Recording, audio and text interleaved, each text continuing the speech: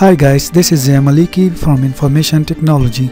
In today's quick tutorial, I'm going to show you how you can delete a user account on Windows 10 operating system. It's especially very useful when you no longer need a user account on your operating system.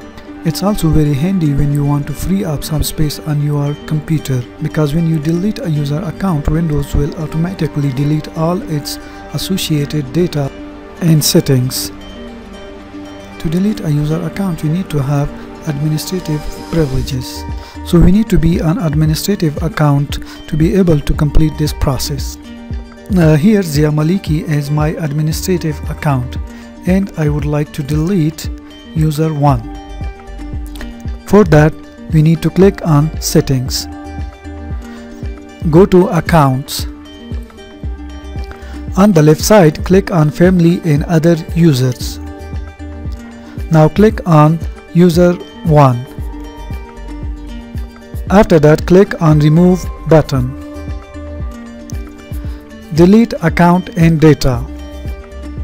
Remember that if you delete an account it will also delete all its data and settings. So make sure you have already backed up all your important data. Backing up a user account data is another topic that I will be creating another tutorial on it and will share it with you guys in the future.